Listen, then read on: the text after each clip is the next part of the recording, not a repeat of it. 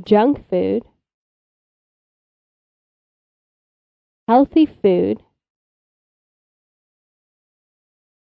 homemade, ready made. I will visit my grandma tomorrow. If I have free time tomorrow, I will go with you.